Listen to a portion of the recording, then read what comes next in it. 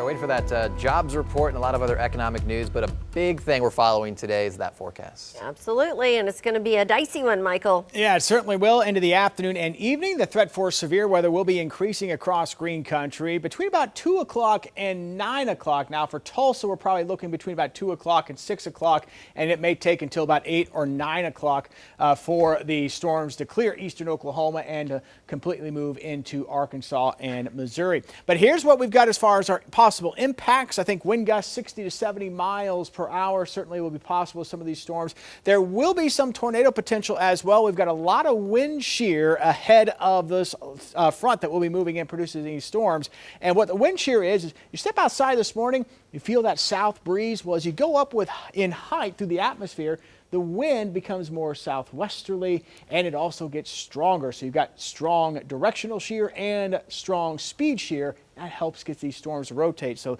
that is part of the concern today as well. And then the flooding potential on the lower end of the scale, but with some locally heavy rain, we may get some localized flooding concerns, but I'm not expecting widespread flooding issues. And hail, uh, a little bit less of a, a concern, but some of the stronger storms maybe up into that marginal severe category, maybe three quarters to an inch in diameter hail. Now through the morning hours, we're looking at a few spotty showers out there this morning. We'll go isolated to scattered uh, across the area, a bit more scattered as you go farther north and west. So nothing too crazy as you're heading out the door this morning. Once we start getting into the afternoon, that front starts to inch a little bit closer. We get more lift to the atmosphere. We're going to notice storms bubbling up pretty scattered to widespread across much of the region as we go into the afternoon hours. And again, Tulsa's window between about 2 and 6 o'clock. And then once we get past 6 o'clock, we'll notice that main threat for storms pushing farther to the east. And it may take until 8 or even 9 o'clock tonight before all the storms finally clear eastern Oklahoma. So for those of you here,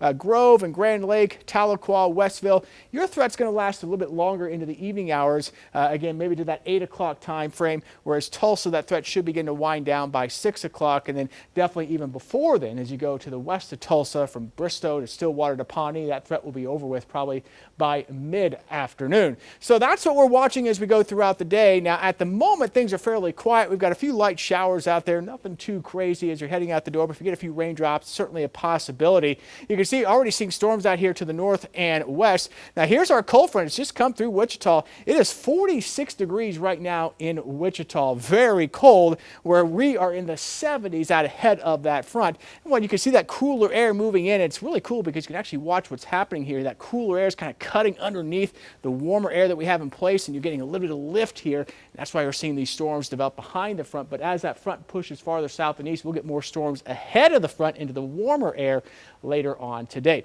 Right now from Brookside, looking right down Peoria here on the Wade's RV Weather Camera Network, you can see our camera shaking around just a bit. That's that southerly flow, that moisture. You can feel it as you're stepping outside, all that Gulf of Mexico moisture. That's going to be the fuel for those storms later today. So just stay weather aware as you go into the afternoon and evening time frame. Storms will likely develop and some of these will be strong to severe. Again, Tulsa's window pretty much winds down at, at 6 o'clock, but storms will be ongoing east of Tulsa through most of the evening, should clear eastern Oklahoma by 9 o'clock tonight. And then the chillier air moves in. That's the other thing. Mentioned it's 46 degrees right now in Wichita by later this evening, we will be dropping into the 40s, even though we're in the 70s right now. So if you've got any Friday evening plans after these storms move out, that's something to keep in mind. That cooler air will be moving in. But it's going to give us a beautiful weekend. A little chilly tomorrow morning, and then 64 and sunny tomorrow afternoon. A beautiful day.